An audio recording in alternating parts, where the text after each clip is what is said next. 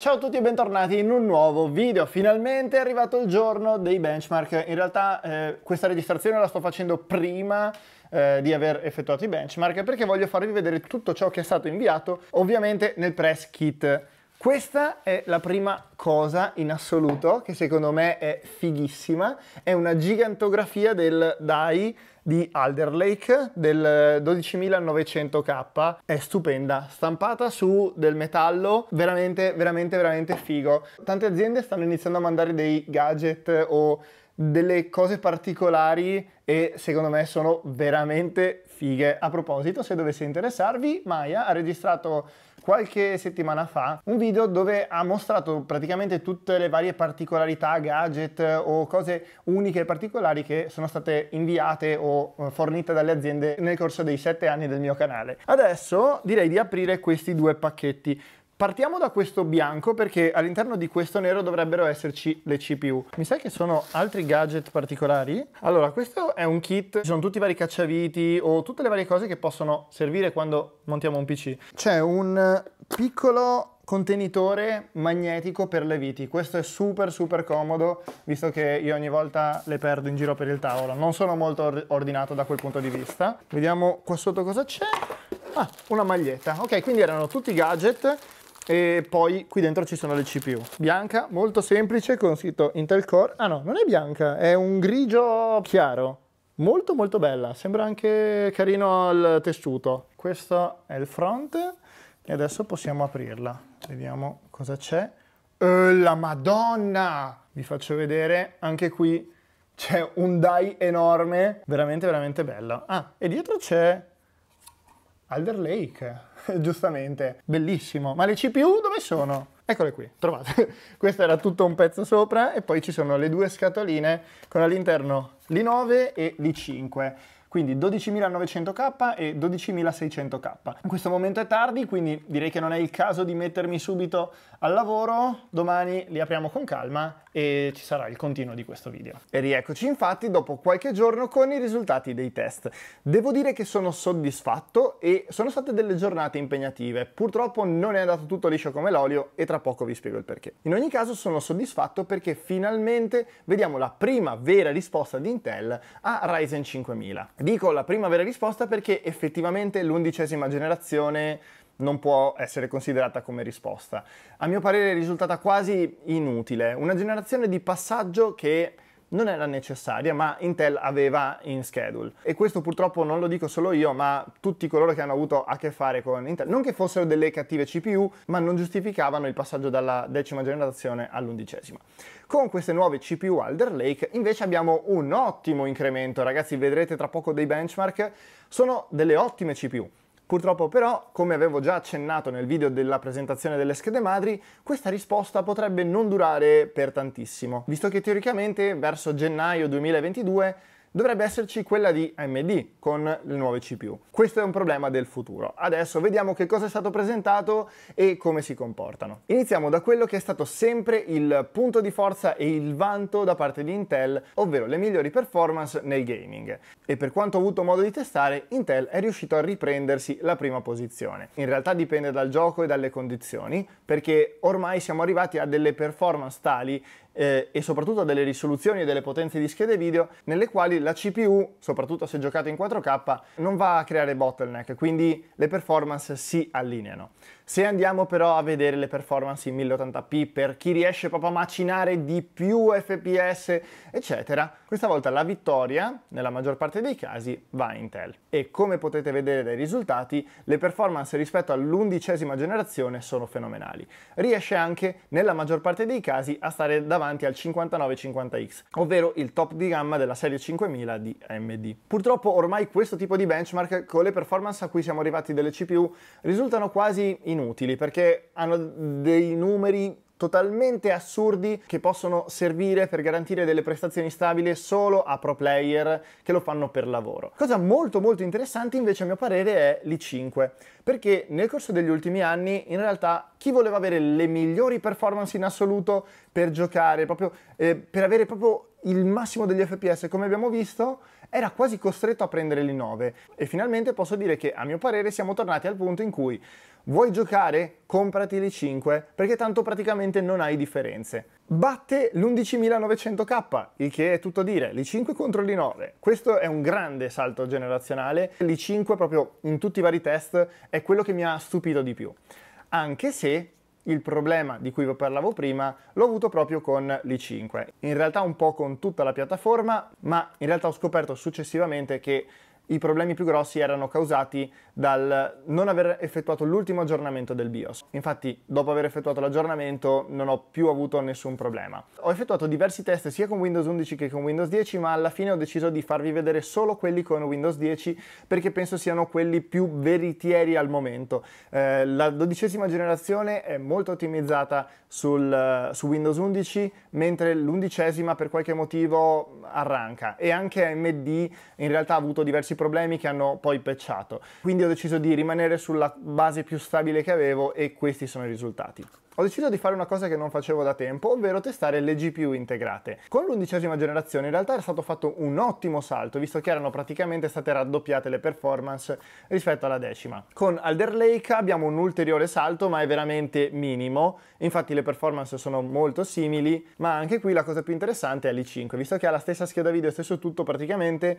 ehm, le performance sono identiche all'i9. Avrete visto dai benchmark che CSGO è molto molto in basso, questo perché ho effettuato il test con con il benchmark interno, diciamo, del, del, workshop, che è quello che utilizzo per tutti i test, ma vi garantisco che è giocabilissimo. Infatti Valorant, che non ha un suo benchmark interno, offre un risultato molto più veritiero. Infatti anche su CS si può giocare tranquillamente, quel benchmark è molto molto pesante. Nelle partite si riesce tranquillamente a giocare eh, sopra i 100 fps. Per quanto riguarda Doom, invece, non c'è stata grande storia, ma non mi sento di consigliarvi questa esperienza. Andiamo ora a vedere i risultati dei benchmark sintetici per la la potenza pura di queste CPU e che numeri riescono a tirar fuori. Il primo test è quello di 3D Mark eh, che ha aggiunto un nuovo test dedicato alla CPU e eh, qui possiamo vedere il 12900K appena sopra il Ryzen 9 5950X e distrugge completamente eh, le vecchie generazioni. Cosa molto interessante, come potete vedere, l'i5 che raggiunge quasi l'i9 in questo test. Su Cinebench abbiamo un risultato simile, ma qui vediamo un distacco maggiore, sia tra il 12900K che il 5950X, ma anche tra l'i5 12600K e l'i9 11900K. La cosa assurda è che lo batte non solo in single core, che fanno dei numeri assurdi, davvero. Ho giocato anche un po' di overclock e ho superato i 2000, ragazzi, sono mostruosi. Altro test fatto molto in velocità, quello di eh, CPU Z, e abbiamo sempre lo stesso risultato. E infine gli ultimi due test, ovvero quello di V-Ray e di Blender. E qui per la prima volta vediamo eh, il 5950X stare davanti al 12900K. Vi ricordo però che i benchmark sintetici non sono sempre eh, affidabili al 100%, infatti a tanti non piacciono, però vanno fatti come linea di riferimento per capire la potenza massima teorica di quel processore. Infatti se ci spostiamo dal punto di vista di creatività, le cose possono cambiare e queste nuove CPU sono veramente interessanti. E qui sono rimasto stupito dalla velocità perché la differenza era veramente tanta. Ma la differenza non è solo qui, perché se ci spostiamo sui benchmark di Premiere, Photoshop, vediamo più o meno sempre lo stesso risultato. Queste nuove CPU per il content creation e chi utilizza questo tipo di applicativi sono veramente, veramente interessanti. Quelli dove c'è stato più distacco sono stati Photoshop e DaVinci Resolve. Non so se per un fatto di ottimizzazione o proprio per come funziona l'architettura interna delle CPU. Comunque vediamo un notevole salto in avanti rispetto all'undicesima generazione e anche in questo caso riesce a stare davanti al 5950X. Infine parliamo di consumi e temperature.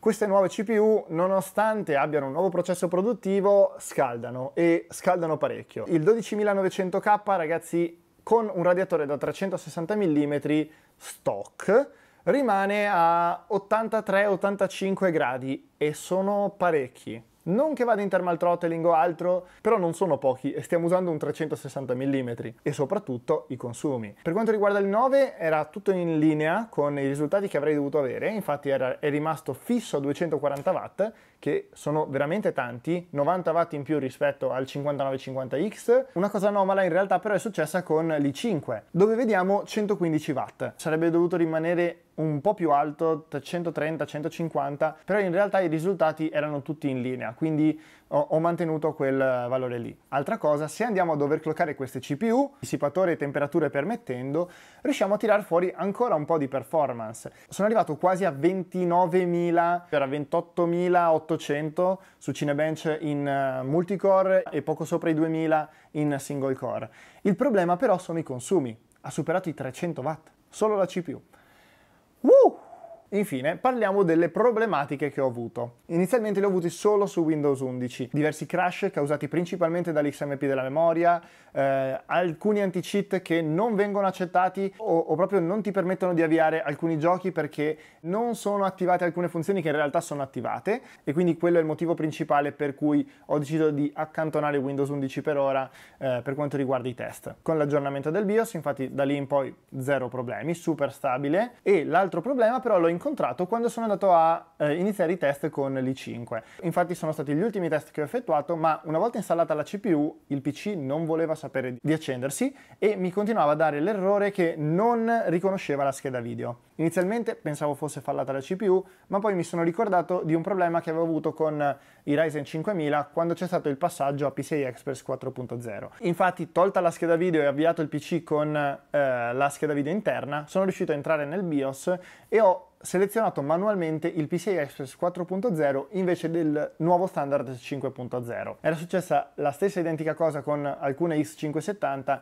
e avevo risolto allo stesso modo, mettendo da 4 a 3. La cosa che mi faceva strano è che in realtà con l'i9 non ha avuto nessun problema, quindi anche lì penso che si possa sistemare questo problema con un aggiornamento del BIOS. Quindi questi sono i risultati che ho ottenuto. I risultati sono veramente ottimi, finalmente devo dire, e sono davvero curioso di vedere che cosa risponderà AMD.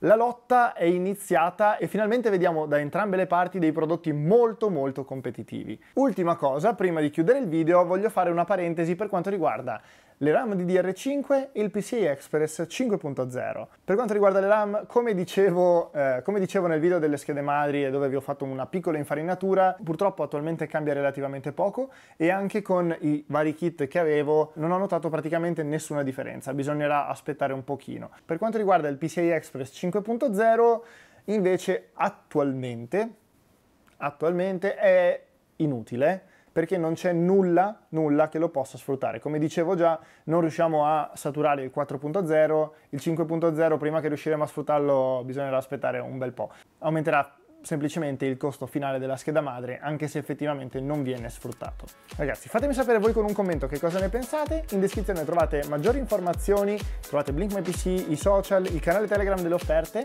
e direi che da Blink è tutto e ci vediamo nel prossimo video. Ciao ciao! Vi ricordo che è disponibile Blink My PC, il sito perfetto per essere sicuri di realizzare il proprio nuovo computer al meglio spendendo il meno possibile, dove è possibile realizzare configurazioni personalizzate oppure scegliere tra quelle proposte in base al prezzo desiderato. Ovviamente non mancano le offerte in tempo reale e il mio merchandise. Trovate il link in descrizione.